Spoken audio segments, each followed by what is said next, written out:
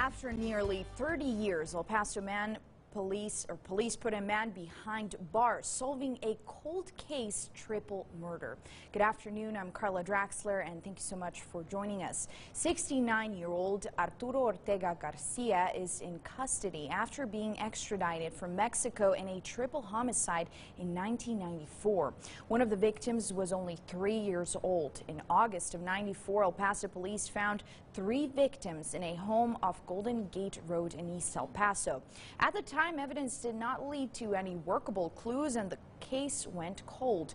In 2015, the case was reopened and Garcia was identified as the suspect. In 2020, Garcia was arrested in Mexico City, where he remained until yesterday when he was extradited by U.S. Marshals. Garcia has been booked into the county jail on a $5 million bond.